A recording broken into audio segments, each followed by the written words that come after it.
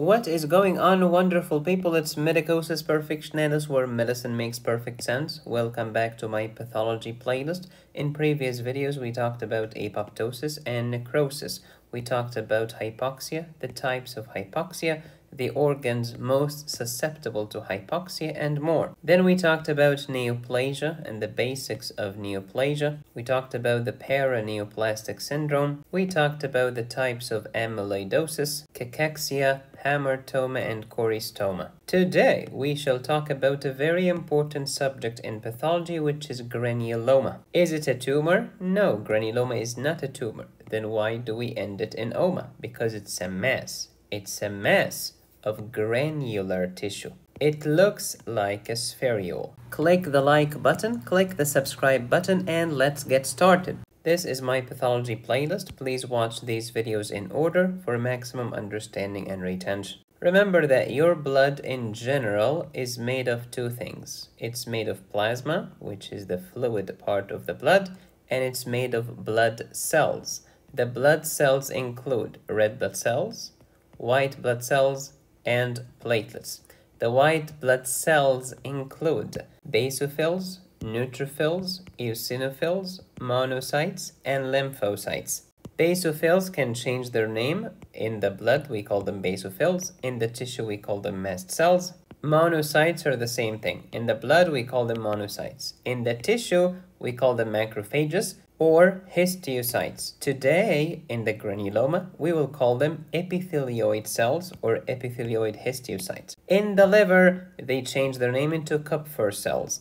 In the nervous system, they become the microglia. And in the bones, what are the cells that eat your bone cells? Oh, these are osteoclasts. Osteoclasts with a C will cut down bone with a C, but osteoblasts with a B will build up bones. If you want to see more pathology videos in the future, please drop a brain emoji in the comments. I have a previous video titled Hypersensitivity Reactions when we talked about all of these in detail. We are in type 4 today, which is delayed. Hypersensitivity, which one is the fastest? Type 1. Which one is the slowest? Type 4. Can you describe type 1 in few words? Sure. Immediate, anaphylactic, IgE, mast cells. They rupture, pew, they degranulate, pew, releasing histamine. And histamine can give you the symptoms of an anaphylactic shock. How about type 2, cytotoxic? What do you mean? I mean, I have antibodies, okay? These antibodies are bound to antigens, okay? And this happens on the surface of the cell. The cell is the cyto. That's why type 2 is cytotoxic. Okay, how about type 3? 3 is free. You have antigens and antibody complexes. Same as 2? Yeah, but with one difference. The big difference is this happens in the blood. And after this, since they are hanging around in the blood, the antigen antibody complex can end up being deposited in the blood, causing vasculitis, in your joints, causing arthritis, in your kidney, causing nephritis, etc., etc., etc. In type 1, type 2, type 3, we talked about antibodies like IgE, like the antibody that is cytotoxic, like the antibody that's freely floating in the blood. But type 4 has nothing to do with antibodies. Type 4 has nothing to do with the humoral immune system. Type 4 is about T lymphocytes, cell mediated immunity. No antibodies, Heck no. The T lymphocytes are super sophisticated. They communicate with each other via cytokines, which include the interleukins, which is the internet of the leukocytes. This is also the story of making a granuloma, and this takes time. Type 1, Type 2, and Type 3 hypersensitivity reactions, we're dealing with antibodies. We're dealing with humoral immunity for the most part. But here, in type 4, we're talking about cell-mediated immunity for the most part. It's not antibodies, it's not B lymphocytes, it's not humoral, it is cell-mediated. It is T lymphocytes. That's why it's delayed. Are you talking about CD4 T lymphocytes or CD8? It could be either. Oh, okay, tell me the story. Here is the antigen presenting cells, presenting the antigen to the T lymphocytes, specifically the CD4. The CD4 secrete interleukin 2. The interleukin is the internet of the leukocytes. This is how they communicate with each other. Now, the CD4 positive is very active. It's going to secrete interleukin 12. Also, the macrophages secrete interleukin 12. Don't forget that the macrophages could act as an antigen-presenting cell. The end result is interleukin 12 activating my TH1, T helper 1. Is this the one that help the sister or the neighbor? It helps the sister. It helps other T lymphocytes. It does not help the humoral immunity, it helps the sisters the cell-mediated immunity. It can also secrete interferon gamma to activate macrophages. If the organism is weak, destroy it by phagocytosis. But what if the organism is nasty and virulent and strong like tuberculosis? If I cannot kill it and eat it, let me at least surround it in a granuloma. The idea that the T helper 1 CD4 T lymphocytes secretes interferon gamma to activate the macrophage is one of the most commonly tested facts on any exam. Never ever forget this. Type 4, we're talking about cell-mediated immunity. T lymphocytes, CD4 cells, especially the Th1, secrete interferon gamma to activate macrophages. Low virulence organism, phagocytosis,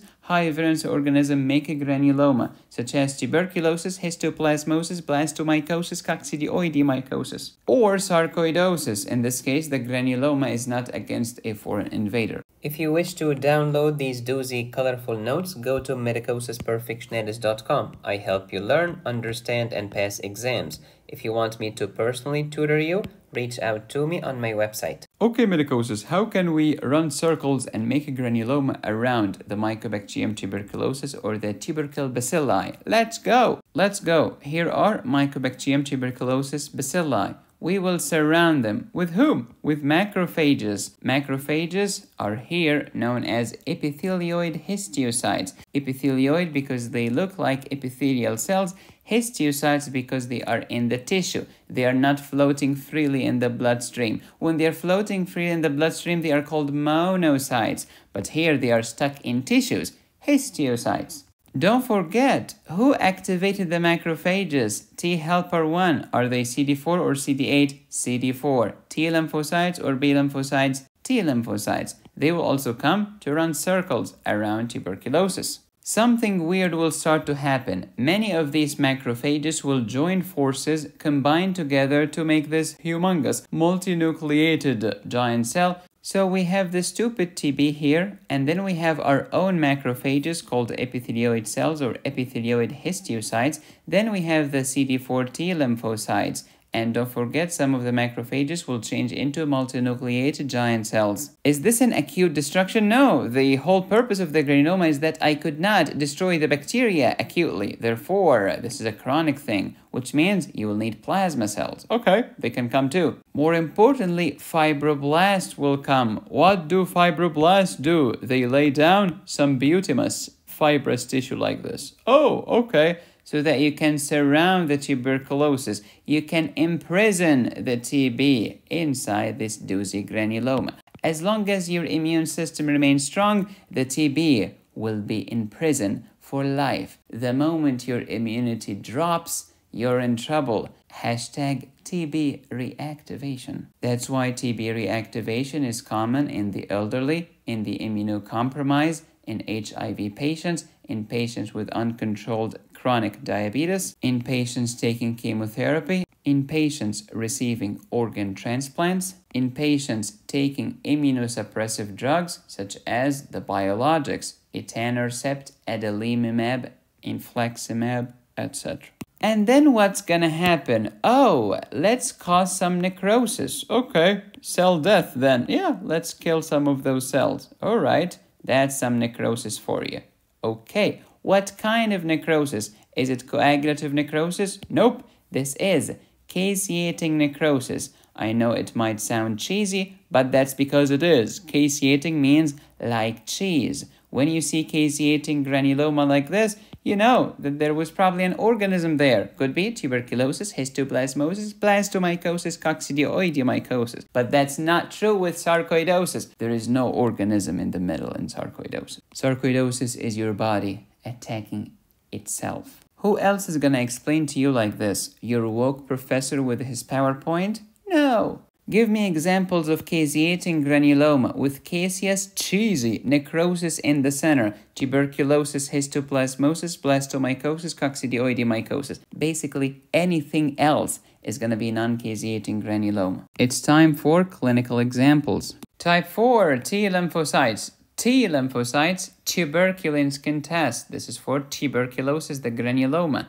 It's for transplant rejection, such as acute rejection, chronic rejection, but not the hyperacute organ transplant rejection. Touching, what do you mean? Contact dermatitis. This is the story of poison ivy. This is the story of wearing a new nickel watch on your wrist and developing a rash on the same wrist and the rash looks exactly like a watch. This is the story of trying new makeup and three days later you developed a reaction exactly where he applied the makeup. This is also the story of graft versus host disease. Did you know that active tuberculosis is a contraindication to breastfeeding? If you want to learn more about mastitis, breast abscess, chorioamnionitis, endometritis, cervicitis, pelvic inflammatory disease, download my OBGYN high yields course at medicosisperfectionalis.com. There are more than 600 premium videos available on this channel. When you click the join button and choose the highest tier, please subscribe, hit the bell, smash like, support my channel on Patreon, PayPal, or Venmo. Go to my website to download my courses, notes, and cases, or if you would like me to personally tutor you. Be safe, stay happy, study hard. This is Medicosis Perfectionalis, where medicine, chemistry, math, and physics make perfect sense.